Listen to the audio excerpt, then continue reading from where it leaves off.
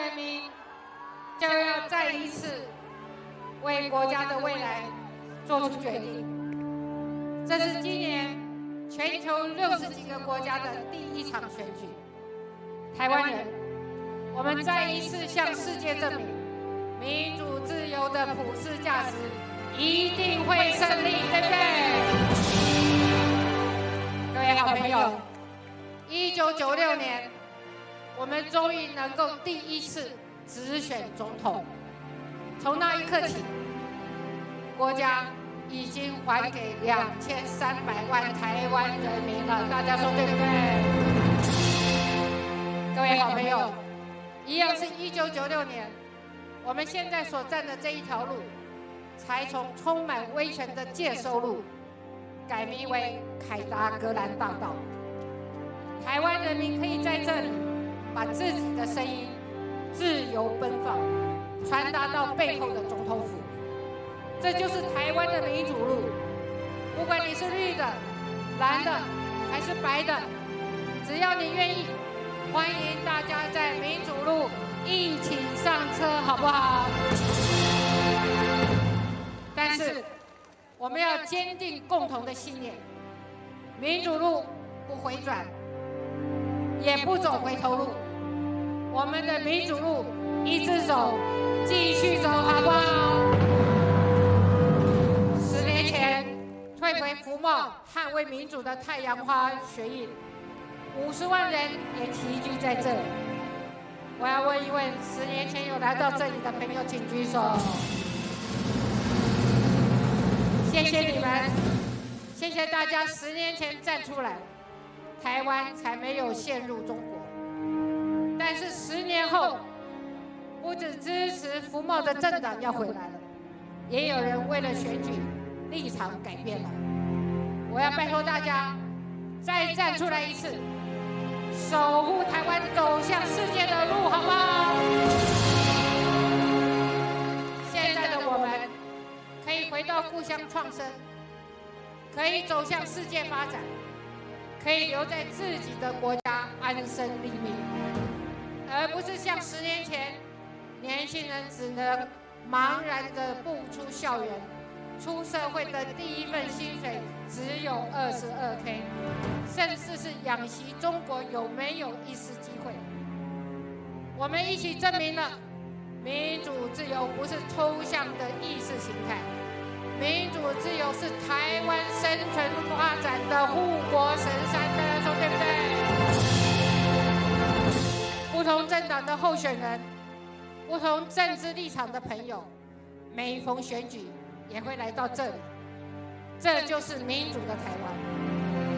我想问问现场的好朋友，三年前的四大公投有来的，请举手一下；四年前的大选有来到凯道的，也可以举手一下吗？我再问一下，八年前的选举之夜有参与的，请举手一下。我要谢谢大家支持蔡英文。然而我知道，很多人觉得蔡英文做的还不够快，不够好。我也知道，有许多年轻人觉得需要国家更多的重视。年轻的朋友们，我跟你们一样，年轻的时候一样的叛逆，一样的渴望改变。年轻的朋友们，我知道稳健并不刺激，甚至在大家的心中。稳健过于保守，但就像你搭上一台车，会希望驾驶稳稳的开，照路线走。而台湾内外的处境，必须在狭窄的空间中前进，在崎岖的弯道中前行。面对复杂的路况，你不会放心的把钥匙交给新手驾驶。面对艰险的车道。你也不会放手随意切换车道，甚至逆向行驶。请大家跟我一起回头看看这八年，加薪减税、长照幼托、居住正义，虽然有让人满意，也有不尽如人意之处，但是每一步都在往前走。改变就是要变得更好，而稳健可以带来改变。只要我们方向正确，脚步不停，我们就能抵达终点的，说对不对？我要谢谢大家一路陪伴蔡英文，我们一起走了八年这么久，台湾也已经往前走了这么远，台湾也越变越好了。台湾终于自己做出第一艘潜水舰，我们的海鲲号原型舰已经下水了。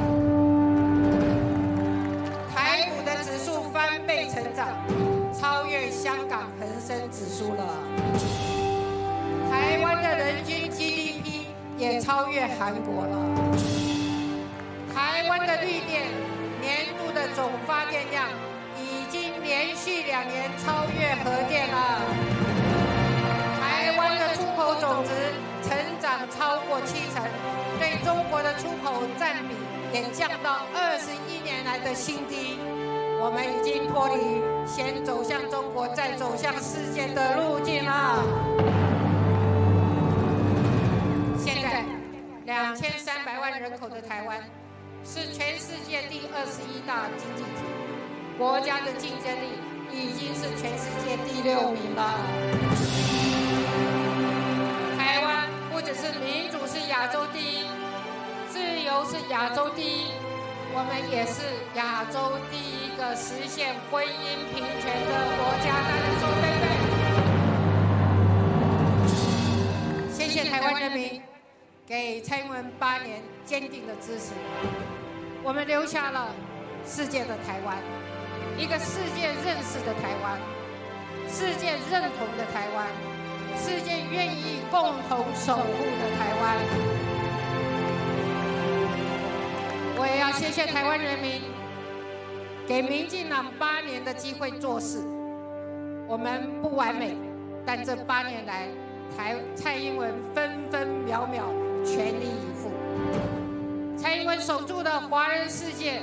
唯一的民主堡垒，蔡英文更和大家一起让世界上架台湾。在这里，我要深深的感谢，谢谢两千三百万台湾的人民。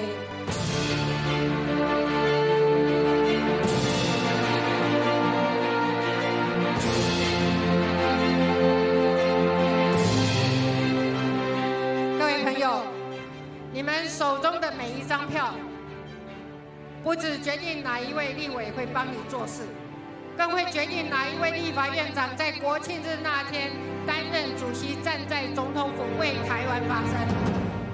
未来的四年的国庆日，如果你希望我们的立法院长是昂首阔步走向舞台，坚定自信，说出民主台湾的立场，那么。我要请你政党票支持六号民主进步党，